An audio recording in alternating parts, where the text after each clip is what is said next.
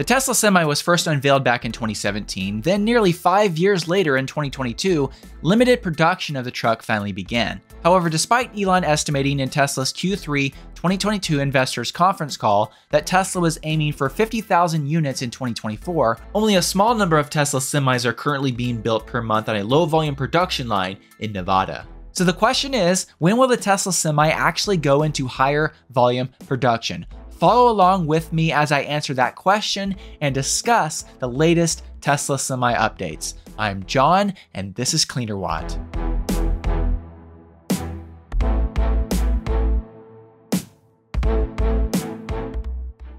During Tesla's Q1 2024 investors conference call, Lars Moravy gave the following Tesla Semi update. So we're finalizing the engineering of Semi to enable a super cost-effective, high-volume production with our learnings from our fleet and our pilot fleet and Pepsi fleet, which are expanding this year marginally. For some of you watching this video, it might actually really surprise you that Lars Moravy would actually say that they're still finalizing the engineering of the Tesla Semi because, of course, the truck is in production right now. And usually you finalize engineering of a vehicle before you start producing it and selling that to customers. However, a commercial vehicle like a Tesla Semi really takes a whole different level of testing to make sure that engineering is right before you really mass produce the vehicle. So while Tesla has been producing the Semi for over one and a half years now, the vehicle still could be considered a beta prototype. Not a rough beta prototype, but it's still really in progress, and the actual high volume production Tesla Semi will likely have some differences based on what they are shipping now with their low volume setup. I believe Tesla is really wise here to take their time with this and make sure that it's completely right before they really mass produce these and put them in a space that really requires very little downtime with a truck.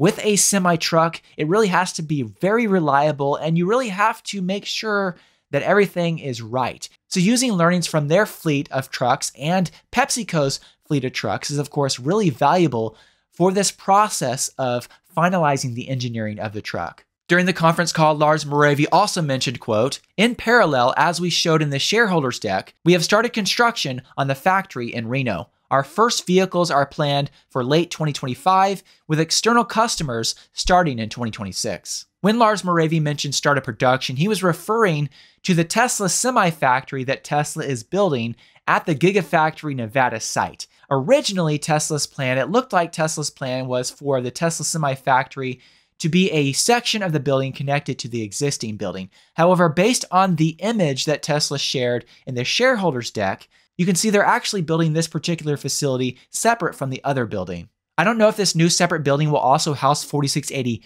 battery production because the initial plan was for the expansion of their Gigafactory to include 4680 battery production and Tesla semi production. I don't know if both processes are going to happen in this separate factory or not, but I kind of believe that Tesla is going to keep Tesla semi production separate, and the 4680 expansion will actually happen connected to the existing building that's already there right now. I could be wrong on that, but that seems to make a lot more sense to me. Now, in addition to Lars Moravy's updates during the investors conference call, Dan Priestley, who is senior manager of semi truck engineering at Tesla, recently shared some semi updates at an ACT Expo event as detailed in this article. I did find it funny that Dan acknowledged Tesla's tendency to be late with product launches when he said, quote, Now I know as alluded to, there's been some questions on timing, but Tesla has a specialty, and that is turning the impossible into merely late, joked Priestley. I believe one of the reasons why Tesla is often late is because Elon Musk is constantly pushing the team to innovate. And that often involves new processes, new technologies, developing those out, and really achieving what many would call impossible, or at the very least, very difficult to achieve. So often Tesla will be late, but Elon Musk really pushes innovation. And when they achieve those goals, while it might be late, it makes for a better product in the end. Now, on that note, there have been some naysayers that really doubt that a battery electric semi truck is practical. And despite what these uninformed people like to claim, a well designed battery electric semi truck like the Tesla Semi is actually practical. And I believe the PepsiCo fleet proves that out. And it appears like the Tesla Semi can still carry a comparable payload to a diesel semi truck and has a much lower cost of operation than a diesel semi truck. On that topic, Dan Priestley did acknowledge how difficult it is to build the Tesla Semi, and in this article it was written, quote, I think that there are some narratives that seem to think that electric heavy trucking is impossible. You might hear some say that it's really hard. Well, guess what? It is really hard.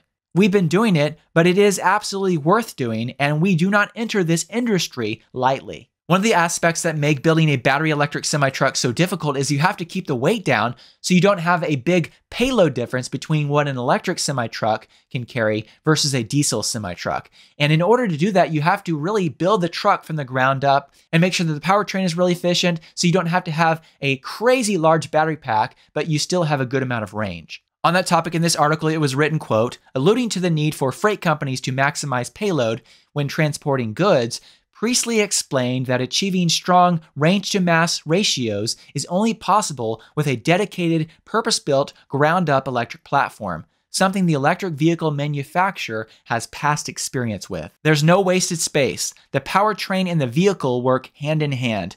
We saw this on the light duty side, and we're seeing it all over again on the heavy duty side, said Priestley. Tesla is also putting our money where our mouth is, introducing the Semi into its own supply chain and operations by hauling battery packs from its Gigafactory in Nevada down to support its Fremont factory operations in California. Of course, fully loaded, the Tesla Semi should be able to get around 500 miles of range. Once again, that's not empty, that's fully loaded. That's very impressive, and Tesla has demonstrated that that's actually the case with a test drive. Beyond that, Dan Priestley confirmed, quote, the vehicle mass allows for one for one payload parity. That means there's not a big penalty versus a diesel semi truck when it comes to your payload.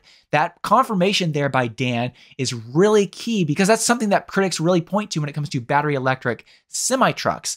That you have a big penalty when it comes to the payload that you can carry, and that being a problem. But it looks like there is a one for one payload parity with the Tesla Semi versus a diesel semi truck. That's a really good confirmation there by Dan.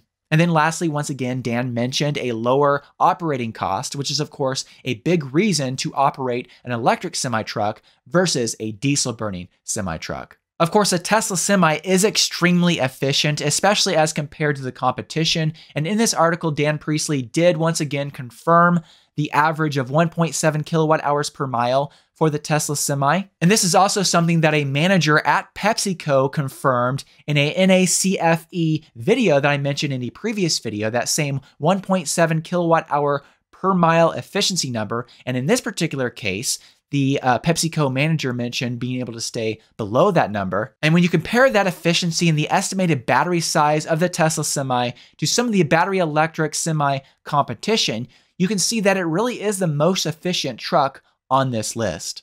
Another proof that the Tesla semi truck is actually a practical commercial vehicle is the fact that, according to this article, PepsiCo is apparently taking delivery of 50 more Tesla semis at its Fresno, California location. So obviously, it wouldn't make sense for PepsiCo to add more Tesla semis to their fleet if they weren't working out well for them. I believe this indicates they are working well and that they have a lower cost of operation than the rest of their fleet. And of course, there's also the benefit of them lowering the amount of pollution they're putting out. And it really looks better as a company to have a greener company in that way. But I believe there are also cost savings associated with this.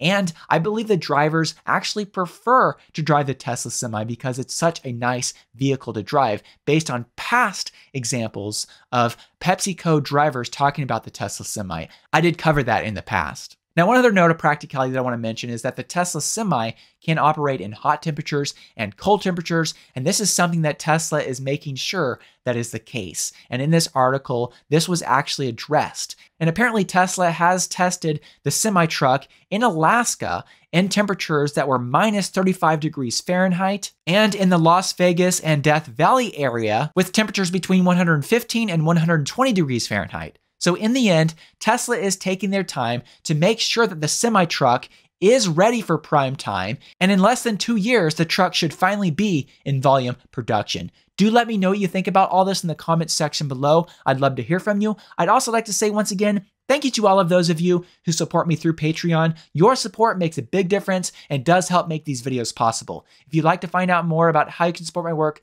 through Patreon, I will put a link in the video description. Thank you so much.